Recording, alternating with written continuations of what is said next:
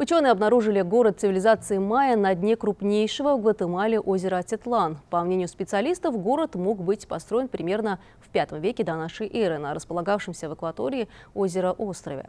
С течением времени он ушел под воду, предположительно из-за тектонической активности. Исследователи обнаружили остатки церемониальных центров, домов, стел и других сооружений на глубине от 12 до 20 метров. В работах принимали участие археологи из Аргентины, Бельгии, Гватемалы, Испании, Мексики и Франции, занимающиеся подводными исследованиями.